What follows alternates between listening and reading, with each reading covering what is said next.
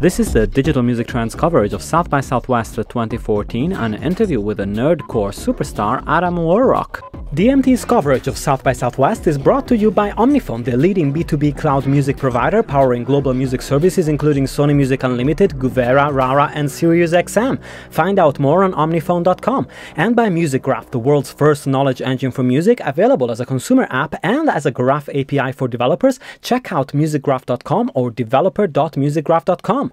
Hello, everyone, and welcome to Digital Music Trends coverage of South by Southwest 2014. And uh, it's a real pleasure to be here with Adam Warrock. So, hi, Adam. Thanks for joining me. How's it yeah, going? It's going okay. I just I just got in today, and uh, it's already kind of crazy. So I'm just happy to have a parking space, yeah. be in the center, and talking to you. So thank yeah. you so much for having me on. It's awesome, and it's actually the first interview that we managed to do outside. Finally, yeah. the weather is turned in Austin, so yes, we we are in the heat, which is amazing. I uh, didn't want to find. I felt like I dragged my London weather with me, so I wasn't too happy about that. And so Adam is a fantastic artist. He he uh, works in a genre called uh, a nerd. Nerdcore. Nerdcore, yeah. right? Yeah, cool. So the, this is, uh, it's, you know, I came across uh, you uh, through a Guardian piece that was published in the UK uh, last November, I think, uh, yeah. timed with the release of your new album. Mm -hmm. But you know, you've been creating some interesting output for the past, you know, three and a half, four years. So I want to talk about that and how you started out. So wh when when you decide to start, you know, your Adam Warrock project and and and and why? I originally was kind of just making music for my friends. Um, they did a lot of things like podcasts and web comics, and they were had blogs, and I would make kind of like these jokey theme songs for them. And because uh, I used to make kind of like indie hip hop back when I was right. in college, and then I stopped for a while, and I went to grad school and I started working, and I started making music again just to kind of have fun with these subjects. And uh, I needed a website to post them on, and so I made this website uh, adamwarrock.com and I just started posting free music. And originally it was just kind of a place that I posted any song that I made.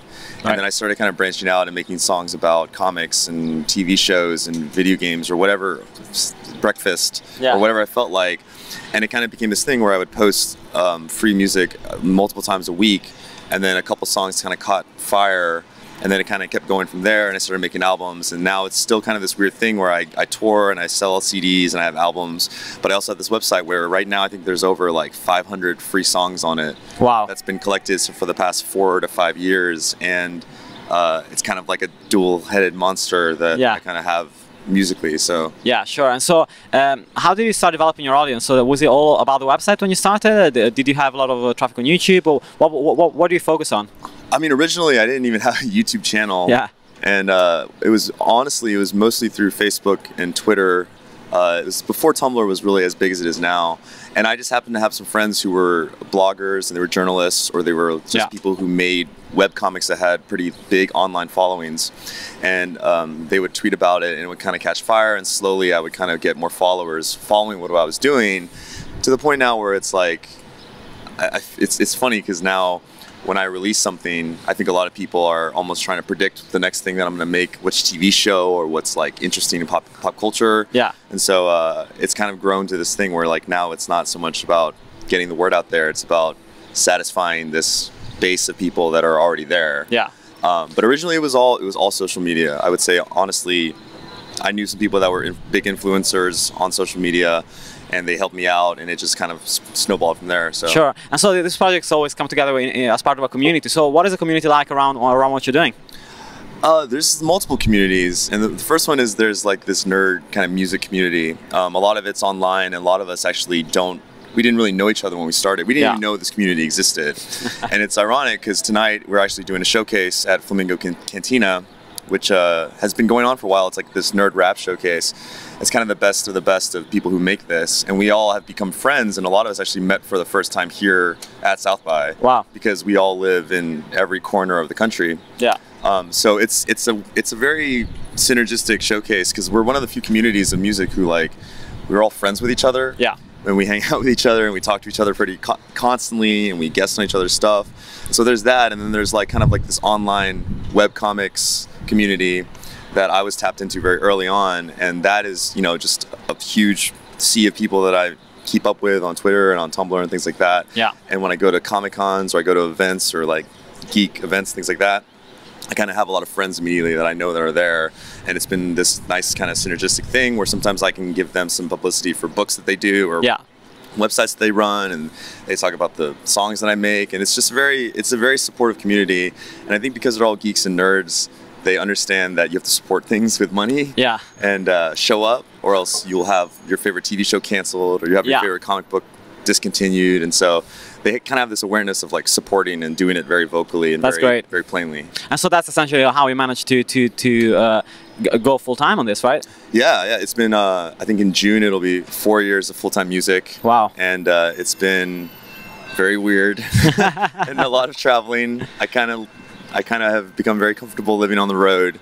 Yeah. Uh, and yeah, it's it's been amazing. I never, when I started doing the website, I never thought in a million years it would lead to this. And it was kind of a point where I was still working, and I kind of had this opportunity to maybe possibly do this full time. And I, Yeah. I was just like, well, I got to try this out, you know, because if it's the only thing that's keeping me from doing it is that I would make less money, that's kind of a stupid reason to do it, yeah, or not sure. to do it. So yeah, yeah, exactly. And so, uh, is it all about live? Do you also sell, uh, you know, uh, how are your music sales going in terms of the, the comparison between the two? Is it music is coming out there essentially for free to Yeah. to promote the live shows, it's or weird. It's this weird thing where like when you release an album, you get like this big influx of sales for like a very Right. limited period of time, and you only expect a certain amount of things to sell, and that kind of dies off online. So you have to kind of know how to space out what you want to sell and how often you want to ask your audience to buy that.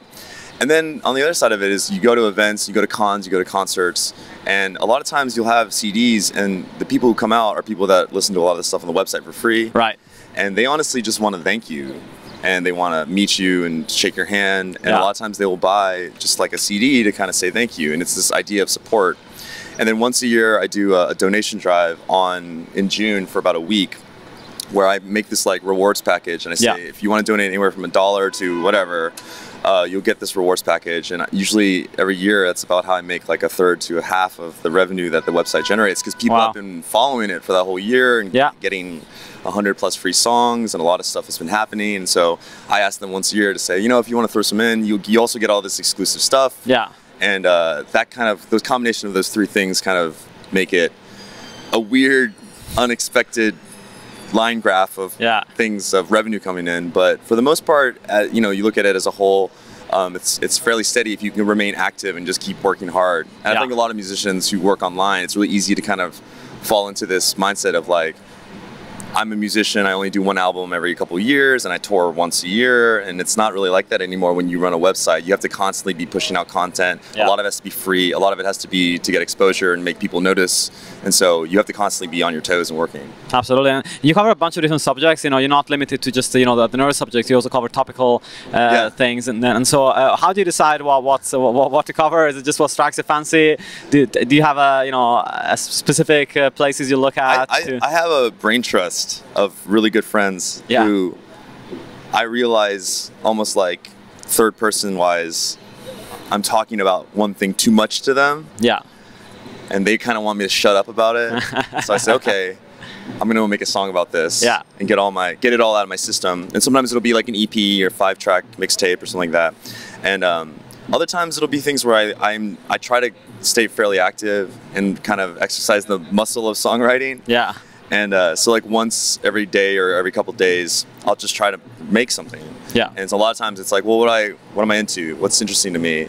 And then I just kind of make something and see where that goes. Yeah. So I- it's there's no strategy. Sure. People think there's a strategy like a, a chart Yeah. or a calendar of things, but it's like it's really like, oh, I like I like this show. Let's make a thing about this show. Yeah. It's that simple. So it, No. it's nice. It's pretty free. It's freeing because Yeah. I get to do whatever I want to. that's great. And, and what do you use uh, on the road? Because you say you're on the road a lot, so you must write a lot of your stuff uh, whilst you're whilst you're out. I it's weird like I would I record scratch versions of songs from uh, my iPhone headphone mic Wow, because when great. you plug it in, Yeah. plug it into your MacBook, it works as a mic and Yeah. there's like this weird compression on it. yeah, it's really, sounds it's really, good. Yeah, it's quite, uh, Yeah. it's quite a bassy sound as well, right? and so like I'll, I'll record scratch versions of it, and some of the songs I've actually released are actually from that. That I just kind of like made it really like clean. Clean, sounding. yeah, sure. And then I get home, and once I'm home from the road, I just like will just tear through it because I have like a home studio kind of set up Great. and uh, and mastering software and all that stuff. So a lot of it's just like when I get home, it's just immediately because I, I the best part of it for me I really enjoy making songs Yeah. and so it's kind of like fun when I've been gone for a while to finally do it Absolutely. And you released an album in November, which is uh, the middle of nowhere. Yeah. So uh, that was your first album, right? Uh, oh pro- no proper? that was my third full length Oh, album third full-length but album. it was Okay, probably cool. the first one that I had like such a huge amount of publicity for it, publicity so, about yeah exactly yeah. and so how do you find the experience of because of course you know you have the, this huge amount of ongoing content that comes out and then releasing an album is a whole other you know uh, kettle of fish i guess Yeah. Uh, and so how do you find that experience and, and just you know uh, how do you see people reacting also to a full full length release I mean, I definitely try to make every album be this cohesive product. And I mean, even if you listen to this album, the secret is that like you can leave it on loop right and it goes all the way back around to the beginning and it never stops. awesome Um, and it's it's mostly just like working with a lot of producers and just kind of getting a lot of beats where they send you just tons of tons of music. Yeah. And you try to piece together this puzzle and try to like see what you want to touch on over this overarching theme. And so it's a lot longer because like the stuff on the website I can just do and release and just be done with. And the what the album is the thing that most people who are friends with mine who criticize me on are like you need to spend more time working on things. And so the album I force myself to keep doing drafts of it and keep rewriting it. And Yeah. This album I definitely spent like a year making. Um, just to satisfy my friends who just kept on bugging me to, to spend more time doing something yeah um, and so it was the it was a result of a lot of like hard work, a lot of collaborations with like different people. There's um, some amazing artists on it, and there's uh, James Urbaniak, who's the voice of Dr. Venture from the Venture Brothers, does the introduction. great So it's it's it's a it's a different experience, and it's almost like I get really impatient. So Yeah. that by the time the album comes out, I'm like, oh my gosh, I'm so sick of this now. I know, yeah. It's, uh, I think a lot of artists feel like that, but Yeah. it's uh, it's kind of hard to keep the eyes on the ball and think uh, this has just come out. It feels to me Yeah. it feels old, but it's just people, come out. people are just enjoying this now, and I have to not immediately start talking about how much I don't like it because I can notice this one thing that I did on it that I couldn't fix or something. So Yeah, exactly. But it, it's it, it's been received really well. I think people are are very you know they're very enthusiastic about it, and it's nice because I really do feel like it's the best. I do feel like it's the best work, and Yeah. I'm not just saying that because it's the latest thing. I do feel like it's the culmination of a lot of stuff. So, so you released that on Bandcamp, right? on Bandcamp, on iTunes, on Amazon, MP3, and then I have physical copies that I pre- pressed up myself. And do you, do you feel strongly about remaining independent uh, from, from that point of view? or- Yeah, I mean, honestly, I, I don't, uh, I don't take uh, orders very well or authority figures. So, and I also feel like they wouldn't understand what I do. I've actually Right. gotten in um, arguments with a lot of music industry people about the fact that I release too much music. Too much of it's free. Too much of it is ephemeral, and um, too much of my show is actually songs that are not on things that I sell Yeah. and I try to tell them that I don't think of myself as making music. I think of myself as making content Yeah. for people to enjoy, and it just happens to be in the form of music. And what's more important is like kind of the, the discussion that comes up around. Oh. Whoa, B. that comes up around the songs, and you get to engage with your audience Yeah. and have this personal connection. And so, um, uh, I think uh, I don't know if there are many major labels or, or music industry people that would be like, yeah, you should keep definitely releasing all these songs and not perform a single song from your album at your show. Yeah. I think they would. Be, in fact, I know people who used to be A and R people Yeah. who are friends with me now, and they're just like, "You would have been a nightmare for me if I was your A and R at a label. Like I would have hated you." And I'm like, I don't know what to tell you. This is how I know how to do it, and it's worked. So Yeah. like, I don't. I don't really want to fix it if it isn't broken. Sure. know? Talking about life on the road, like there's a, quite, quite a few services coming up. There's a, a detour in the UK with a Songkick that, Oh, yeah, that, yeah, that yeah. are working on uh, finding ways to enable artists to tour in places that where they wouldn't normally be able to or wouldn't know that they have a fan base in. So on that front, are you excited about the opportunities that could be there for you Yeah. for like pockets of fans in different parts of the world that may get together and you know pay for you to go out and play a gig somewhere Yeah, random? especially because I'm mostly an online artist. Yeah. Um, there's no centralized kind of location for a lot of people. I didn't start in a scene. I didn't start in one city and kind of go around. Yeah. And so um, it's it's definitely like been amazing. Whereas it used to be things that artists had to do themselves, where they would be like on Facebook or on Yeah. social media, being like, I need this many people to join this event for me to be able to book a show at this concert, and you have to promise you'll be there. There's a lot more things that let, let people follow you and know when you'll be there automatically Yeah.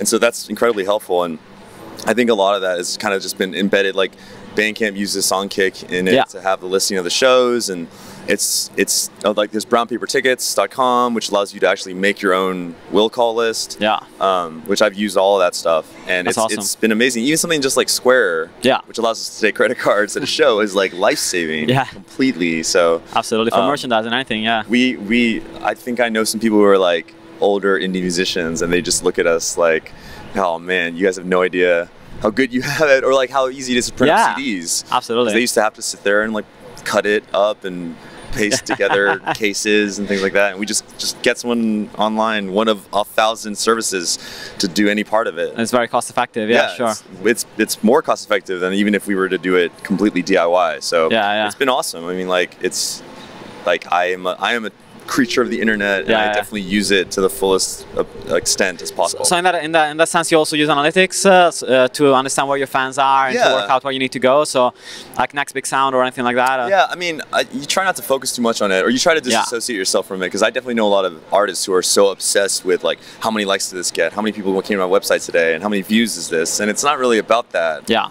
uh, you could get something that gets like 100,000 views and that won't translate to any new fans whereas something that gets 200 views on a very like enthusiastic like niche of fans will make all 200 of, the, of them fans for life Yeah. and so you try not to get too bogged down in that and just see like trends so if something like upticks or something like causes something to change you know that that's like a super effective thing that you did Sure. or maybe a super non-effective thing that Yeah. you did ineffective Yeah. so um, I think it's just a matter of seeing the trends and kind of like trying to trying to see where where the needle goes when you do things. Yeah. I think that's the most useful thing for analytics. That's awesome. Well, Adam, it was a real pleasure talking to you today. Yeah, Uh, thanks thank you so so much. much. Yeah. And uh, again, go and check out uh, uh, adamwarrock.com. And also, if you go on iTunes, uh, uh, the there. middle of nowhere, you can find that. You can find also the previous albums, I'm sure. Yeah. Uh, on there. So uh, go and, check it out. There's a lot of free music on the website, so hun- hundreds. People say too much. And your Twitter handle is? Uh, it's U E U G E Warrock. So Okay, E U. G E W A R R O C K.